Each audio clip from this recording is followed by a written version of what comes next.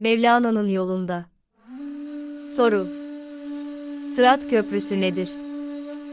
Hasan Çıkar Dede Sizlere Behlülü Dana Hazretlerinden bir hikaye anlatayım. Behlülü Dana Hazretleri, Harun Raşid'in kardeşidir. Bir cuma günü Behlülü Dana Hazretleri camiye gitmiş. Hoca efendi Allah'ın celali esmasından vaz veriyormuş. Cehennemi yakmış, insanları katranlı kazanlara sokmuş. Devamlı gazabı ilahiden konuşmuş. Namaz eda edilip çıkılmış. Haftaya Behlülü Dana Hazretleri yanına kova kürek almış, erkenden gelip kürsünün önüne oturmuş. Hoca vaaza başlayacakken bakmış ki Behlülü Dana kova kürek bekliyor. Ey cemaati Müslümin, Cenabı Allah insanları cezalandırmaktan münezzehtir. İnsanlar burada kötülükler yaparlar, ateşi oraya götürürler. Sonra o ateş üzerine oturur, yanarlar. Yani cehennemde zerre kadar ateş yoktur diyerek vaazı tamamlamış. Behlülü Dana, kovası küreğiyle saraya dönerken Harun Raşid'e rastlamış. Harun Raşid, Behlül, nereden geliyorsun diye sormuş. Cehennemden. Yahu, insan cehenneme gittiği zaman yanında dünyaya delil getirmesi lazım, oradan bir damla ateş almadın mı? Şevketli hükümdarım, bugün hatip buyurdu ki, cehennemde hiç ateş yokmuş, buradan götürüyorlarmış. Sırat Köprüsü denilen, kıldan ince, kılıçtan keskin, 40 sene yokuş, 40 sene düzlük, 40 sene iniş olan köprünün manayı sureti dünyamızdır. 40 sene yokuş, 40 sene düzlük, 40 sene iniş ise insanın dünya ömrüdür.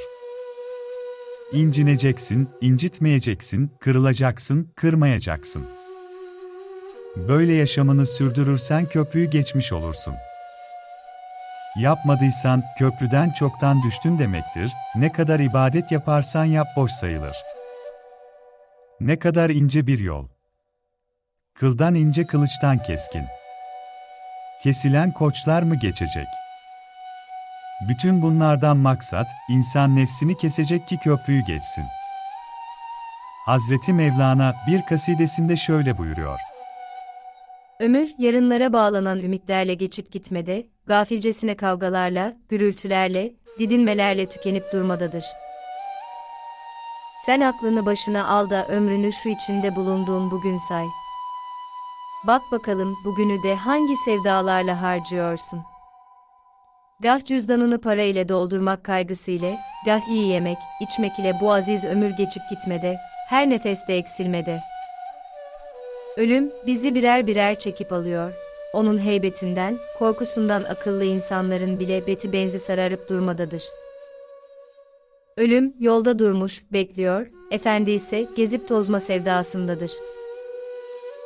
Ölüm, kaşla göz arasında, onu hatırlamaktan bile bize daha yakın. Fakat gaflete dalanın aklı nerelere gitmede bilmem ki. Seni besleyip şişmanlatmaya bakma. Çünkü o sonunda toprağa verilecek, mezar kurtlarına yem olacak bir kurbandır.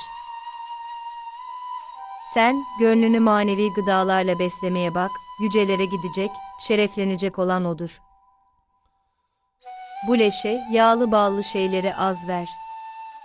Çünkü tenini besleyen kişi, şehvetine, nefsani arzulara kapılıyor, sonunda da rezil olup gidiyor.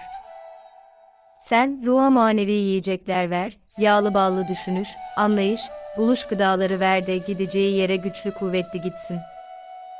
Mevlana Celaleddin Rumi Divanı Kebir, Cilt 2, 823 Kainatın nuru Hazreti Muhammed Efendimizin, Ehli Beyt Efendilerimizin, Yüce Pirimiz Hazreti Mevlana'mızın, Piran Efendilerimizin selamları, feyizleri ve güzel keremleri, bizleri sevenlerin ve bizleri izleyenlerin üzerine olsun.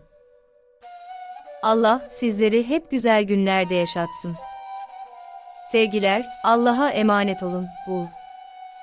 Mevlevi Hasan Çıkar Dede. Derleyen Sibel Safiye Avcı